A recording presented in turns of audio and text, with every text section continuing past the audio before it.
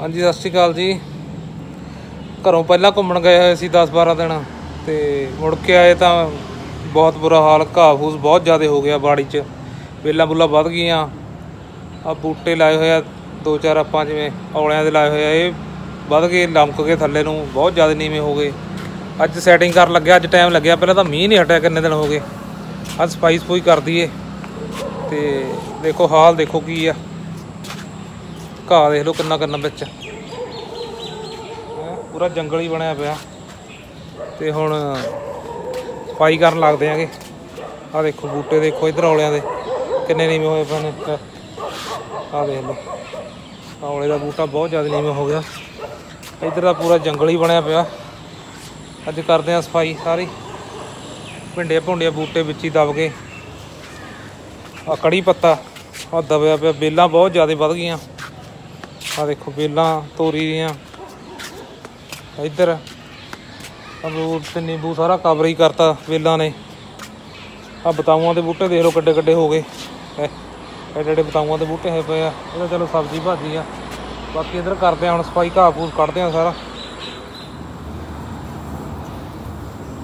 ਬੋਲ ਵੀ ਪਈ ਕੁਝ।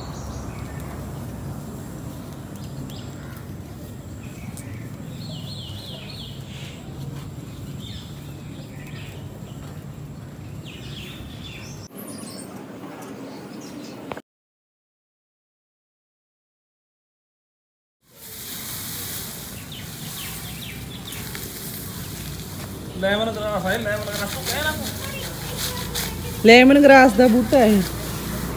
ਜਿੰਨਾ ਇਹਨੂੰ ਵੱਢੀ ਜਾਂਦੇ ਆ ਉਹਨਾਂ ਫੈਲੀ ਜਾਂਦਾ। Lemon grass.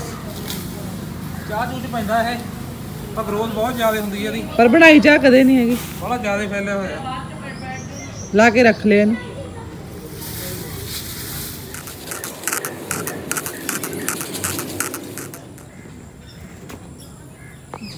ਬਹੁਤ ਜ਼ਿਆਦਾ ਬੁਰਾ ਹਾਲ ਆਇਆ ਪਿਆ।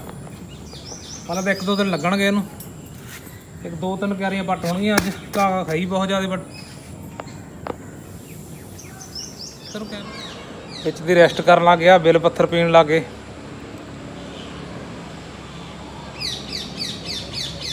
ਟੇਸਟੀ ਬਣਿਆ। ਹਾਂਜੀ ਦੋ ਬਾੜੀਆਂ ਚੋਂ ਘਾਹ ਕੱਢਤਾ ਹੁਣ ਇਹਨਾਂ ਨੇ। ਤੇ ਹੁਣ ਜਿਹੜਾ ਕੱਢਿਆ ਹੈ ਘਾਹ ਉਹ ਚੱਕ ਕੇ ਬਾਹਰ ਸੱਟਦੇ ਨੇ। ਦੋ ਬਾੜੀਆਂ ਤੇ ਪੂਰੀਆਂ ਸਾਫ਼ ਹੋ ਗਈਆਂ, ਦੇਖੋ। ਬਾਕੀ ਰਹਿ ਗਿਆ, ਉਹ ਕੱਲ ਨੂੰ ਸਵੇਰੇ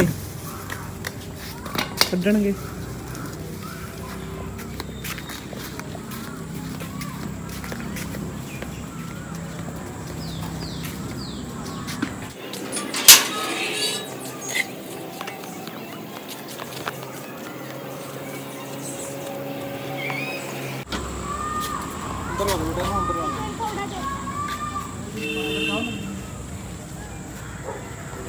ਲੱਗੀ ਹੋਈ ਤੋਰੀ ਇੱਥੇ? ਯਾਰ ਆ ਕਰਦਾ ਇਹ ਪੈਪ ਕੱਟਾਂਗੇ ਫਿਰ ਇਹਨੂੰ ਉਹ ਕਰਾਂਗੇ।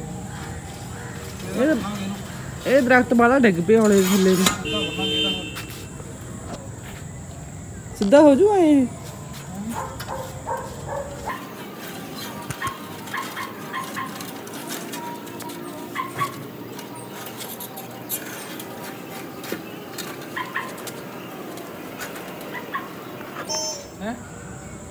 ਉਹਦੇ ਨਾਲ ਬੰਦ ਨੇ ਇੱਥੋਂ ਫਿਰ ਇਹਨੂੰ ਖੜ ਜੂ ਫਿਰ ਸਿੱਧਾ।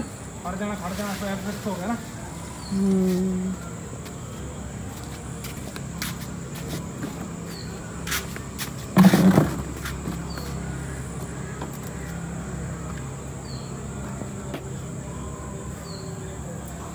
ਤਾਰ ਹੁੰਦੀ ਹੈ ਵਿੱਚ ਇੱਕ ਇਹਦੇ ਨਾ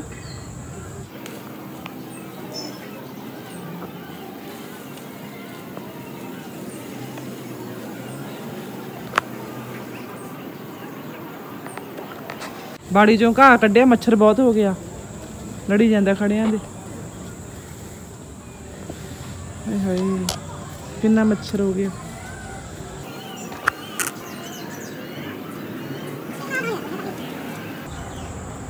ਭਾਰਾ ਵਾਲਾ ਹੋ ਗਿਆ।